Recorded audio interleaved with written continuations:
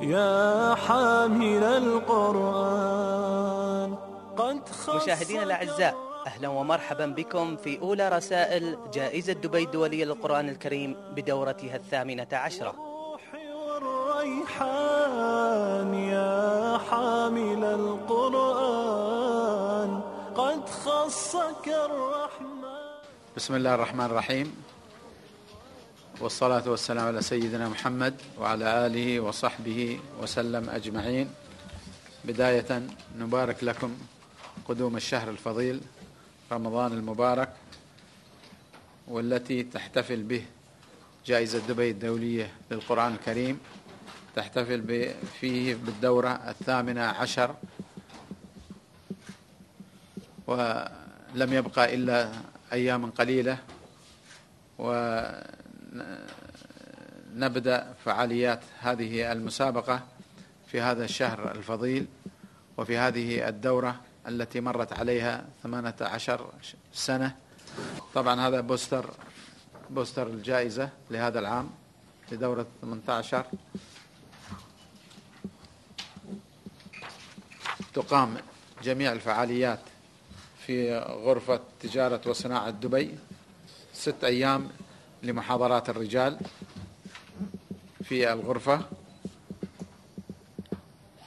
وتسعة أيام لمحاضرات النساء في جمعية النهضة النسائية بدبي.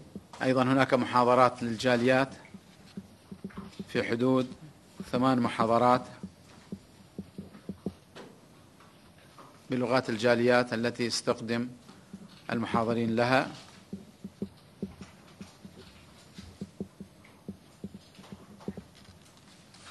تبدأ جميع المحاضرات من الساعة العاشرة والنصف بعد صلاة التراويح. بعد ذلك ستبدأ المسابقة الدولية. وافق على الاشتراك في هذه المسابقة عدد سبع وثمانين متسابق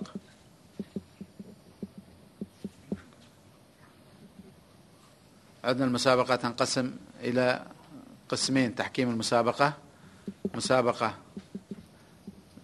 تبدأ يعني تحكيم مبدئي للتأكد من كون المتسابق الذي يحضر إلى الدولة ويشارك في هذه المسابقة حافظ للقرآن الكريم وللتجويد حتى يتسنى له المشاركة في المسابقة النهائية. أو أنه غير حافظ فيكرم ويرجع إلى بلده. أيضا تم ترشيح المحكمين وتم التدقيق على الأسئلة من قبل وضع الأسئلة من قبل الجائزة والتدقيق عليها من قبل لجنة خاصة من علماء القراءات. سيكون لدينا كالسنوات الماضية مركز إعلامي يقدم خدماته للإخوة الإعلاميين. الحفل الختامي سيقام في ندوة الثقافة والعلوم. أيضا نشير إلى أن هذه لأول مرة محكم من الإمارات يعتلي منصة التحكيم الدولية وهذا عن طريق جائزة دبي الدولية للقرآن الكريم وهذا نعتبره يعني من فوائد هذه الجائزة ومن حسنات هذه الجائزة أنها سعت إلى تكوين بعض المحكمين المواطنين الذين يشاركون في المسابقات مسابقة الشيخة هند مسابقة الحافظ المواطن مسابقة أجمل ترتيل ومن ثم مسابقة دولية للقرآن الكريم.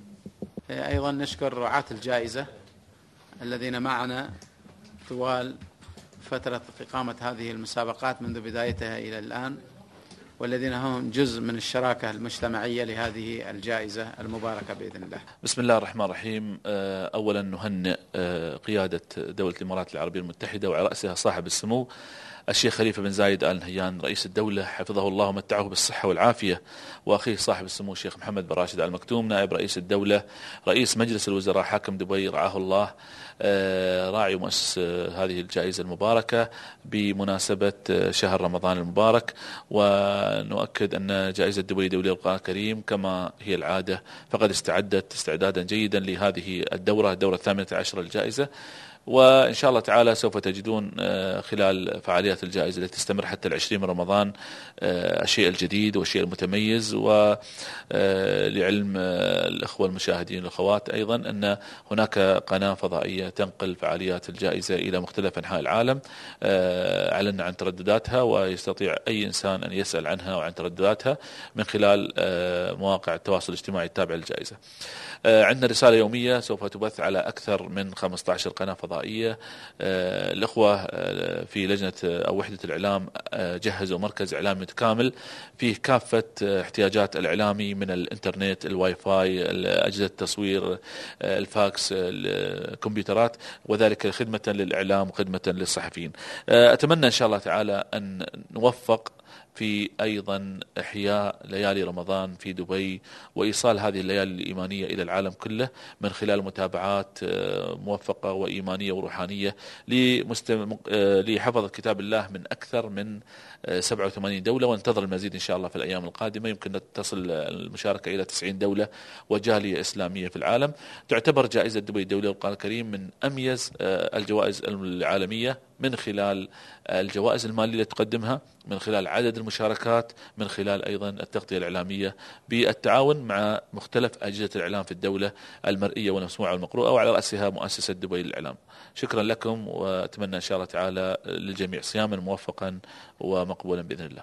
سعادة المستشار ما هي استعداد زد دبي الدولية للقرآن الكريم في دورتها الثامنة عشرة؟ بسم الله الرحمن الرحيم والصلاة والسلام على سيدنا محمد وعلى آله وصحبه وسلم أجمعين.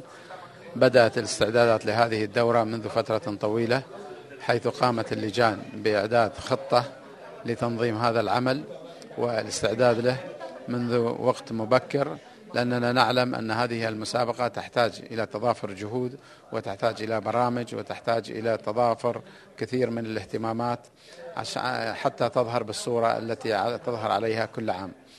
انتهينا والحمد لله رب العالمين من تنظيم جميع الفعاليات سواء كانت في محاضرات النساء أو محاضرات الرجال أو محاضرات الجاليات واستقبلنا ردود المتسابقين حيث بلغ عدد المتسابقين الذين سيشاركون في هذه المسابقة لهذا لهذه الدورة التي هي الدورة 18 في حدود 87 متسابق.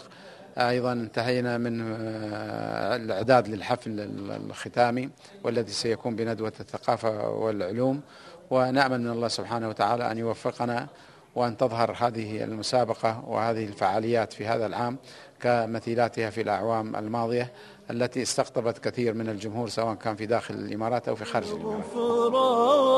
يا قارئ الآيات في الجمع والخلاء. مشاهدينا الأعزاء إلى هنا نصل معكم إلى ختام رسالتنا لهذا اليوم. على أمل أن نلقاكم في رسائل جديدة أستودعكم الله. والسلام عليكم ورحمة الله وبركاته.